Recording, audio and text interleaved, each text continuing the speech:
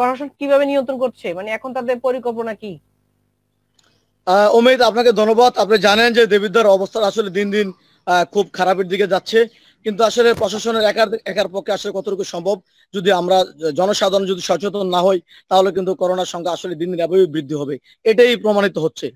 গতকালকে আপনি জানেন পঁয়ত্রিশ জন আক্রান্ত হওয়ার পর আপনার দেবীদ্বার উপজেলা প্রশাসন এবং র্যাব সহ কিন্তু সেনাবাহিনী কিন্তু আসলে এগারো বাজারকে লকডাউন ঘোষণা করেছিলেন এবং প্রশাসনের পক্ষ থেকে সকল যে শর্তগুলি রয়েছে, প্রচার প্রচারণা তারা চালিয়ে যাচ্ছেন, ঘরে থাকার জন্য আহ্বান জানিয়েছেন এবং দেবীদ্বার উপজেলা স্বাস্থ্য কমপ্লেক্সের পক্ষ থেকে তারা কিন্তু আসলে চিকিৎসা ফোনের মাধ্যমে দিয়ে যাচ্ছেন। তো তার সাথে আমরা জানেন অমিত, আজকেও আমাদের দেবীদ্বারে পঁচিশ জন আক্রান্ত করোনা ভাইরাসে আক্রান্ত হয়েছেন। তার ভিতরে কিন্তু করোনা ভাইরাসে একই পরিবারের পাঁচজন আক্রান্ত হয়েছেন এবং থানা পুলিশের আরও দুজন সদস্য আক্রান্ত হয়েছেন। তার সাথে কিন্তু অমিত, আরেকটু সুখবর আপনাকে জানিয়ে রাখি দেবীদ্বারে নবীবাদ গ্রামের দুইজন করোনা রোগী কিন্তু সুস্থ হয়েছেন। ইতিমধ্যে আমরা এই বিষয়টি নিশ্চিত করেছেন দেবিদ্বার উপজেলা স্বাস্থ্য কর্মকর্তা আহমেদ কবির। তিনি জানিয়েছেন, তাদেরকে দুই, দুইবার করে পরীক্ষা করার পর তাদের রিপোর্ট নেগেটিভ আসা তারাকে, তাদেরকে সুস্থ ঘোষণা করা হয়েছে।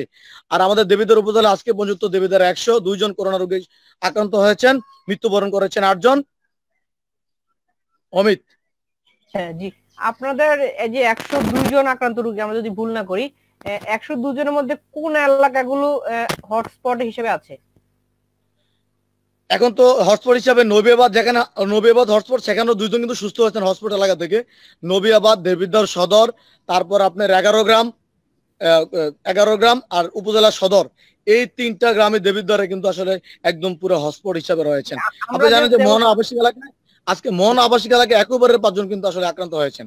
সেটা আমরা নিশ্চিত করেছি। আমরা কিছু তথ্য পেয়েছি দেবিদ্বারে থানা পুলিশের কয়েক তিনজন পুলিশ সহ অনেক অনেকগুলো স্টাফ আক্রান্ত হয়েছে কি তথ্য রয়েছে থানার?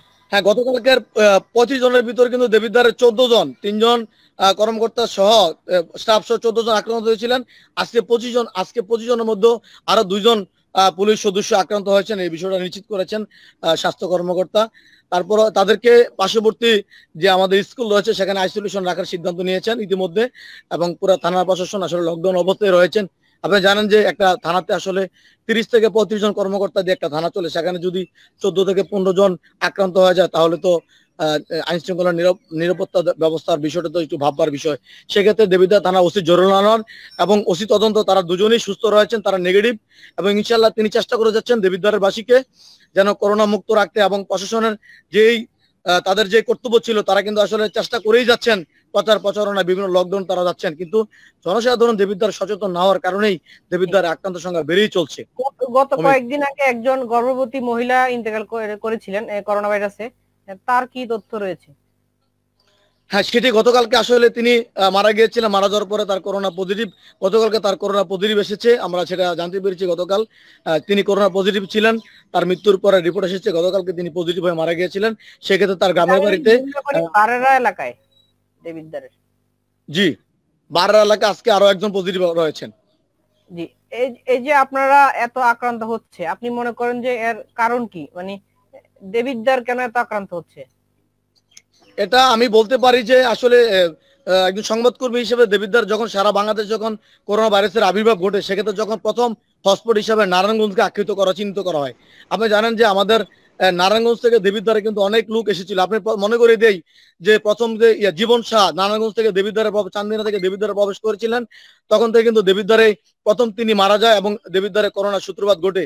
তার থেকে আপনি জানেন দেবিদ্বার বিভিন্ন উপজেলা থেকে দেবিদ্বারে অনেক রোগী অনেক লোক দেবীদ্বারে প্রবেশ করার কারণে কিন্তু তাদের মাঝ থেকে আসলে কমিউনিটি ট্রান্সমিশন হিসাবে এই সংখ্যাটা বৃদ্ধি হয়ে যায়। এবং আরেকটা বিষয় আপনাকে জানিয়ে রাখি যে, করোনা রোগী শনাক্ত হলে গ্রামের মানুষ যে মানুষকে বিভেদ করে দেয় আলাদা করে দেয়, মানুষকে হিংসা করে, মানুষকে জানাজা দিতে যায় না, মানুষকে কবর দিতে যায় না, এই এই প্রভাবগুলো মানে প্রভাবগুলো যখন মানুষের মুখে মুখে মানে বিস্তার হয়েছে, তখন থেকে অনেকে করোনা রোগে আক্রান্ত হলো ভয়ে তিনি পরীক্ষা করতে যান না। যার ফলে কিন্তু কমিউনিটি ট্রান্সমিশন একের পর থেকে এক এক একজনের কিন্তু আসলে সংক্রমণ বৃদ্ধি হচ্ছে। এটাই প্রমাণিত হচ্ছে। মানুষ সচেতন হওয়ার পরেও সামাজিক দায়বদ্ধতার কারণে মানুষ কিন্তু ভয়ে তিনি তার পরীক্ষা করাচ্ছেন না। তিনি যার কারণে তার পরিবারের পাশাপাশি তিনি যেখানে যাচ্ছেন সেখানে আক্রান্ত সংখ্যাটা আসলে বৃদ্ধি পাচ্ছেন। এমনটাই আমরা আসলে করতে যাই সাগর হচ্ছে আপনাদের যে একশো দুজন আক্রান্ত হয়েছে মৃত্যু হয়েছে আট জনের। তার মধ্যে এই যে একশো দুজন কতগুলো নমুনা পরীক্ষার পর একশো দুজন পেয়েছেন? নমুনা পরীক্ষা কি সঠিকভাবে হচ্ছে? মানে আরও কি করা প্রয়োজন কিনা? নমুনা পরীক্ষাটা নিয়েও নমুনা পরীক্ষা নিয়েও কালকে যেটা আসলে আমরা বিভিন্ন গণমাধ্যমে দেখেছি যে থানা থানা স্টাফদের যে পরীক্ষাটা করেছ ঢাকা ঢাকা থেকে নেগেটিভ এসেছিল কুমিল্লা থেকে পজিটিভ আসছে।